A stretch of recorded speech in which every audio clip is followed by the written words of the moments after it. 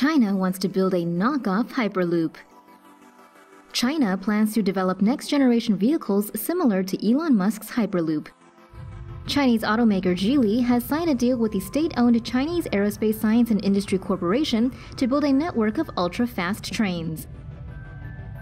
The proposed system will use magnetic levitation to allow the trains to float inches above the rail tracks. This eliminates ground friction and increases speed. Like the Hyperloop, the trains will be propelled through vacuum tubes to reduce air resistance. Though not technically supersonic, the trains will travel faster than conventional ones. This will initially be at speeds of up to 1,000 km per hour, with an aim to reach 4,000 km per hour in the future.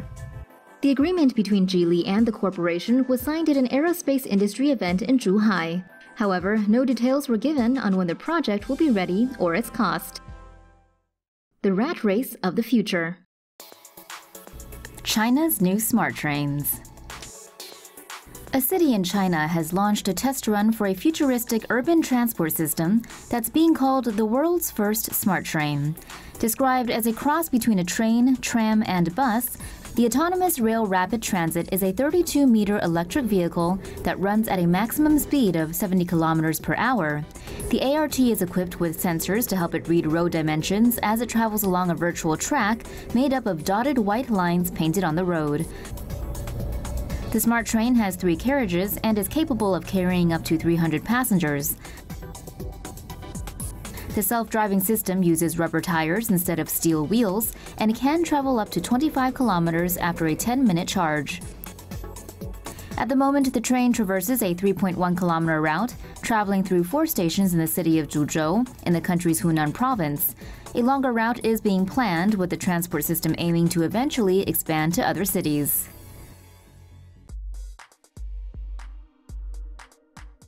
A full-scale Hyperloop pod model was unveiled on Thursday, giving a glimpse into the future of Dubai transport. Virgin Hyperloop One and Dubai's Road Transport Authority developed a prototype commuter pod for the Hyperloop system, which can travel up to 1200 kilometers per hour.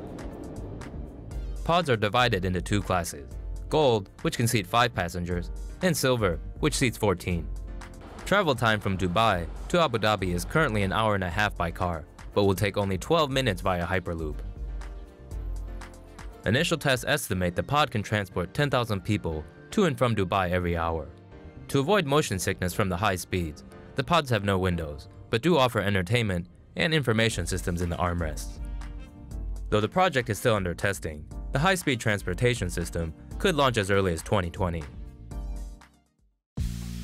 This six-rotor personal drone would be an awesome way to get around. Ever since the Jetsons, who hasn't dreamed of owning a flying car? That day, an electrical vertical takeoff and landing vehicle can replace the gas guzzler in the driveway. But what if you just want to zip around the neighborhood? Well, then the Solexa is the whip for you. The Solexa is designed for shorter flights of about 20 minutes. Imagine skipping over traffic on your way to work.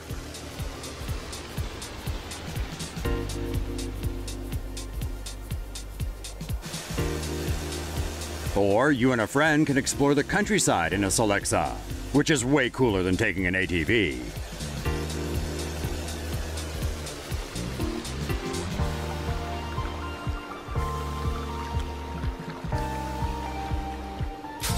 Its designers also think the police might find the Solexa useful. Cops riding a Solexa could quickly respond to a crime scene and then report back to a command center. Navigation would be automated. Punch in coffee shop and the Solexa is programmed to take you there. The Solexa has a 200 pound payload, a 30 meter height ceiling, and a maximum flying time of about 20 minutes. At this point, the concept is just a concept, much like flying cars that fold into a briefcase. Supersonic passenger flights will soon be a reality. A new airliner that boasts supersonic speeds is set to revolutionize air travel once it takes flight in 2023. Boom Technologies' planned supersonic aircraft will have a cruise speed of 1,451 miles per hour, 2.6 times faster than any other airliner. While a flight from New York to London would typically take 7 hours on a commercial flight, the trip would take a little over 3 hours on a supersonic airliner. The Mach 2.2 aircraft will have 55 seats, each priced at about 5,000 US dollars for a round trip ticket. A one third scale prototype called the XB 1 will begin test flights in 2018 to demonstrate and refine the key technologies required for supersonic travel. Unlike the now retired Concorde and its notoriously loud sonic boom, the boom aircraft will have turbofans for noise reduction and won't be much louder than a normal plane. The company does have some hurdles to face before their project comes to fruition. Supersonic flights are still banned in the US, but with federal laws currently set up for renegotiation, that could soon change. Well, this is unique.